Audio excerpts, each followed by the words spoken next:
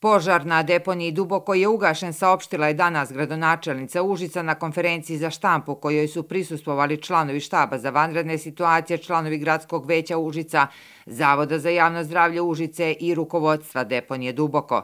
Sve naredne aktivnosti biće usmerene na projekte sanacije i proširenja tela deponije po već raspisanom međunarodnom tenderu vrednom 30 miliona evra. Posle 20 dana i danonoćnih napora, požar na deponiji duboko je ugašen, saopštila je danas gradonačelnica Užica. Danas ovde sa deponije duboko mogu da potvrdim svim građanima Užica da je požar na telu deponije duboko u potpunosti ugašen i saniran. To naravno ne bi bilo moguće bez ogromnog zalaganja i danonoćnog rada svih onih koji su ovde u proteklih 20 dana bili angažovani na gašenju požara. Kada to kažem, mislim pre svega na sve one ljude koji su ovde svakodnevno bili na telu deponije duboko. I vatrogasci, i vozači kamiona, i mašinisti, ali i oni stručnjaci iz ove oblasti koji su nam svojim znanjem, iskustvom i opremom pomogli da ovaj požar e, rešimo u veoma kratkom roku.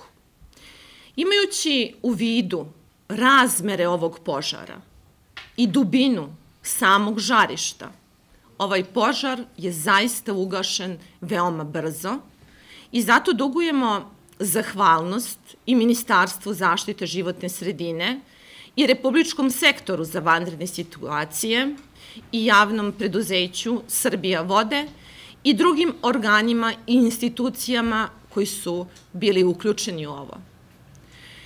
Moram da vam kažem i to da ovakvi požari u susednim zemljama, a slobodno mogu da kažem i u svetu, su bili gašeni u vremenskom intervalu od jedne do dve godine. Tačno je da je se požar desio, tačno je da je u toku samog gašenja požara bilo do obrušavanja jednog dela otpada u onom centralnom delu. Tačno je da je bilo dima u toku tog požara. Tačno je da smo se dobro organizovali, da smo danonoćno radili na gašenju ovog požara i tačno je da smo požar u, juče u potpunosti ugasili i tačno je da nijedan radnik koji je bio na izvođenju radova, znači na samom terenu od mašinista, vozača ovih, da nije bilo povređen i da nije bilo oštećenja ni na imovini kako našeg preduzeća, tako ni privatnih firmi koje su angažovane bile u Duboku. Mi smo u prethodnom periodu kao preduzeće preduzimali sve mere da ne dođe i znamo šta se na deponiju može da se desi. Mi smo sve mere preduzimali koje su bile u našoj mogućnosti, ali evo, znači, to je se nešto desilo na koje mi nisu mogli da utičemo. Razloga verovatno ima više, ali vidjet ćemo na kraju će se verovatno i neka radite istraživanje analize da vidimo šta je glavni uzrok. Istina je takođe, tvrdi direktor Dubokog, da deponija trenutno nema upotrebnu dozvolu, ali su projekti sanacije i proširenja tela deponije planirani u prethodnom periodu. Dozvola je umeđu vremeni stekla, ali mi smo podnijeli sve... Pa istekla je možda pre godinu dana ali smo umeđu vremenu i dok je još bila dozvola na važi pokrenuli ovaj, zahtev za proširenje, ali zbog kapaciteta ni nam još ministarstvo izdalo dozvolu dok ne proširimo svoje kapacitete. Pred nama je ovde veliki posao.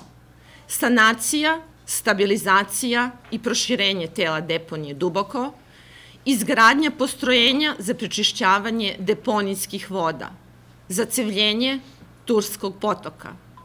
Uskoro će ovde krenuti radovi vredni 30 miliona evra uz podršku vlade Republike Srbije i resornog ministarstva i time će se rešiti višegodišnji problem i uspostaviti najsavremeniji sistem upravljanja otpada ovde upravo na deponiji Duboko. Zavod za javno zdravlje Užice kao jedina akreditovana i relevantna institucija, kako je danas rečeno, u potpunosti stoji iza tačnosti podataka o kvalitetu vazduha koji su saopštavani tokom trajanja požara.